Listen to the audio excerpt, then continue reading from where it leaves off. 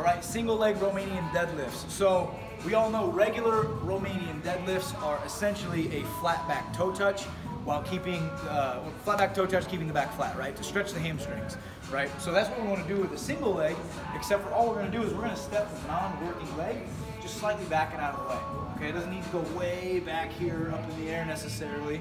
Uh, all we're gonna do, step it back about a foot out of the way. The lead leg is the one working, right? So keeping the back flat, we're just gonna stretch that front hamstring as far as we can down, and then stand all the way tall, pulling from that stretch of hamstring and squeezing that same side glute, right? So it'll look like this.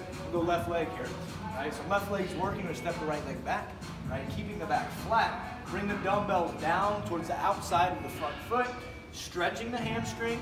Notice that the knee stays over the ankle at this point, right? The knee's not hyperextended back, and it doesn't travel forward, right? As we load those hips back, the knee stays stationary, and all we do is pivot at the hips and drop the torso forward, right? Once you have reached that max stretch of the hamstring, again, pull from that same stretch, squeeze that same side glute to come up, and then back into the next single leg Romanian deadlifts.